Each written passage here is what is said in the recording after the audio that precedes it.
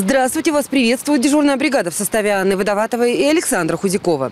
По Пермским дворам и улицам мы колесим на комфортабельном автомобиле «Лада Веста», который нам любезно предоставил «Лада-центр Пермь», что наспешил его 105 в Камской долине. Судя по погоде последних двух дней, этим выключателем а точнее включателем, который расположен на фасаде одного из домов по улице газеты «Звезда», уже кто-то воспользовался.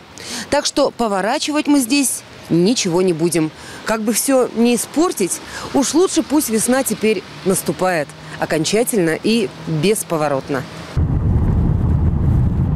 По этой дороге каждый день держат путь жители нескольких домов, расположенных на улицах Тимирязева и Горького.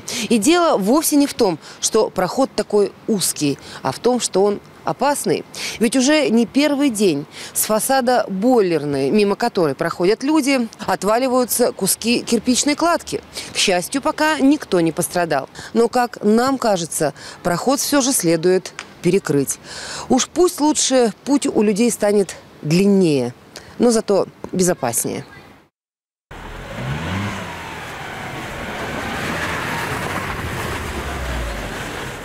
Сегодня днем у дома номер 33 по улице Клары Цеткин появился трактор для того, чтобы почистить территорию.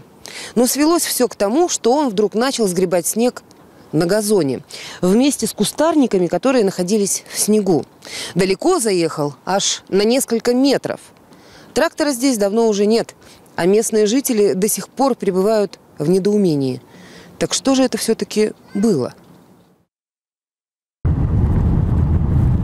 Весна на отдельно взятом кустарнике. Пермячка Анна Семенова рассказала нам о том, что в Закамске на Кировоградской 33 на одном из кустов сирени начали набухать почки. И это в начале февраля. Тем временем на Парковом, во дворе дома номер 24В по улице Строителей, сирень уже вовсю цветет. Но рассказала нам об этой милой шутке кого-то из местных жителей Наталья Голдобина.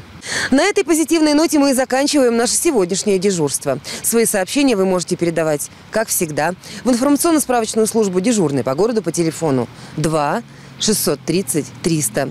Можете также оставлять сообщения и фотографии на стене группы «Дежурный по городу ВКонтакте». Ну а на сегодня, пожалуй, все. Удачи и до скорой встречи.